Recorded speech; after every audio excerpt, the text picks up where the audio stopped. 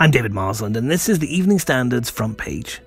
Britain has raced ahead in the battle to secure vaccine supplies by announcing bulk manufacturing of up to 60 million doses of a new jab. A vaccine created by French firm Valneva will start large scale production at a plant in Livingston in Scotland. If it gets full authorization, it will mean the UK has hopes for an astonishing 200 million jabs, more than enough for all of its citizens to get both doses required, with some left over.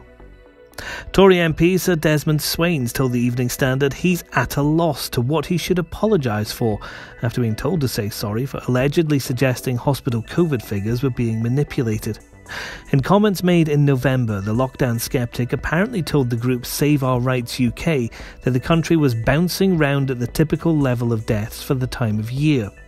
Cabinet Office Minister Michael Gove says the backbencher's remarks are a serious mistake and he should issue a complete retraction and apology. However, he stopped short of saying that the former minister should be suspended as a Tory MP.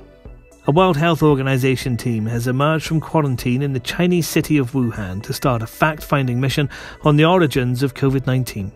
The researchers had to complete 14 days in quarantine after arrival, delaying the long awaited probe.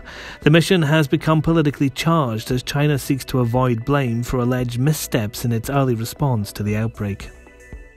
UEFA is insisting it expects the delayed Euro 2020 tournament to take place this summer. At a virtual meeting with all the host cities, football's governing body said it was committed to holding the games as planned, but crowds could be reduced or games played in empty stadiums. Wembley is due to be the venue for seven games, including the final. And finally, campaigners backed by Dame Judi Dench are taking a council to the High Court in an attempt to save what is said to be the East End's oldest tree.